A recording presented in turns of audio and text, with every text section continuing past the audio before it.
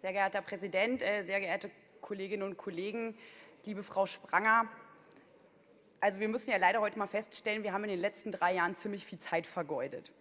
Nicht nur, dass das Gesetz 2013 erst kam, und ich muss leider trotzdem noch mal darauf aufmerksam machen, dass viele Bezirke, gerade die Innenstadtbezirke, bereits seit 2008 Alarm geschlagen haben, dass Wohnraum zweckentfremdet wird, sondern auch die Nachbesserungen, die Sie jetzt heute hier ankündigen bzw. eingereicht haben, werden nicht dafür sorgen, dass wir die Probleme innerhalb des Gesetzes auch wirklich lösen werden.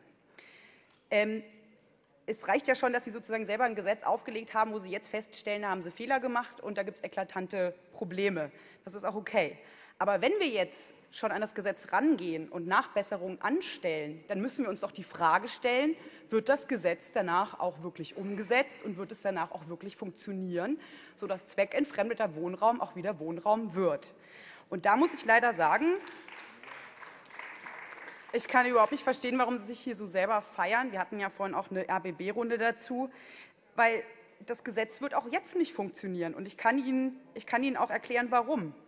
Das Gesetz ist weiter in der Vollzugskrise, weil ähm, die Ferienwohnungen oft nicht aufgespürt werden können. Die, können oft, die Anträge können oft nicht bearbeitet werden, die können oft nicht kontrolliert werden. Und es gibt ja auch sehr viele Eigentümerinnen und Eigentümer, die dann auch klagen. Und ein Bezirk muss dann erst mal ein, zwei Jahre damit leben, dass äh, ein illegales Geschäft weiter betrieben wird, während äh, das Personal sich um die anderen 5000 Anträge kümmert.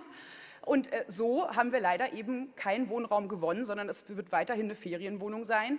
Äh, und wir rennen der Situation, der Entwicklung immer noch hinterher. Und da verstehe ich nicht, dass Sie nicht endlich mal es einsehen, dass es nicht nur ein paar befristete neue Stellen für die Bezirke braucht, die jetzt wieder in ein, zwei Jahren Verfahren neu eingestellt werden müssen, sondern dass man jetzt auch wirklich langfristig Stellen braucht, die sich wirklich nicht nur um Ferienwohnungen kümmern, sondern auch um spekulativen Leerstand, um Abriss, die wirklich effektiv kontrollieren können, so dass wir das Gesetz auch wirklich, so dass das Gesetz auch wirklich mal funktionieren kann und wir wirklich auch Wohnraum effektiv schützen können. Bitte verstehen Sie endlich, gute Wohnungspolitik ja, gute Wohnungspolitik geht auch nur mit starken Bezirken. Das kriegen wir nur mit starken Bezirken hin, wenn wir uns darum kümmern, auch mal den Bezirken zuzuhören, was sie überhaupt brauchen, um ein Gesetz umzusetzen. Da können wir uns hier alle wunderschön Gedanken machen in unserem Kopf. Aber wenn da draußen in der Stadt die Bezirke mit diesem Gesetz nicht arbeiten können, dann müssen wir doch mal einsehen, dass wir da Fehler gemacht haben. Und dann, finde ich, muss man das Gesetz auch wirklich ähm, sich noch mal ganz genau angucken und auch weitere Nachbesserungen machen. Ähm, es ist, es ist doch absurd, dass wir, ähm, dass wir in einer Stadt wie in Berlin, dass es möglich ist, Abriss ähm, durchzukriegen, auch äh, gerichtlich, ja, wenn ein Bezirk das gerne unterbinden möchte und damit bezahlbarer Wohnraum verloren geht, während dann der Ersatzwohnraum teure Eigentumswohnungen sind. Also, ähm, dass Sie mit äh, dieser Situation hier weiter leben können und diese Ungenauigkeit im Gesetz nicht endlich äh, mal klarstellen und verbessern, das kann ich wirklich nicht nachvollziehen. Ähm, so werden wir weiterhin zugucken müssen, dass die Bezirke immer mehr vor Gericht scheitern, wenn sie den Abriss von preiswerten Mietwohnungen verhindern wollen. Und das kann es doch hier nicht sein. Und ähm, ich gebe Ihnen noch mal ein Beispiel. Es gibt Hauseigentümer, die mit illegalen Zweckentfremdungen über eine Million Euro pro Jahr verdienen. Ja? Ähm, was passiert dann? Ja, dann ähm, schickt das Bezirksamt eine, eine Mahnung raus, äh, ist eine Ordnungswidrigkeit, wird dann mit bis zu maximal 50.000 Euro bestraft. Ja, das zahlt dieser Eigentümer aus der Portokasse, der lacht sich doch tot über uns. Das kann doch nicht, das kann doch nicht der Sinn dieses Gesetzes sein. Es muss doch, die Strafe muss doch auch in Relation zum entstandenen Schaden und zum Verlust von preiswertem Wohnraum stehen.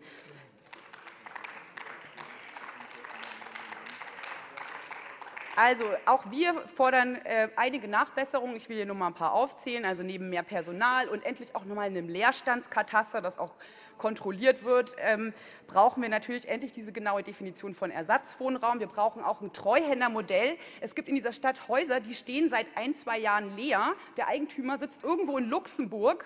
Der Bezirk schreibt den Eigentümer an, kann aber nicht mehr machen. Die Bezirke selber haben kein Personal, sich um dieses Haus zu kümmern. Da geht ganz wertvoller Mietwohnungsraum äh, verloren. Und deswegen brauchen wir auch endlich dieses Treuhändermodell für Berlin. So, und wir brauchen leider auch höhere Geldstrafen, weil das habe ich gerade schon erklärt. Ansonsten äh, läuft diese ganze Drohkulisse absolut ins Leere.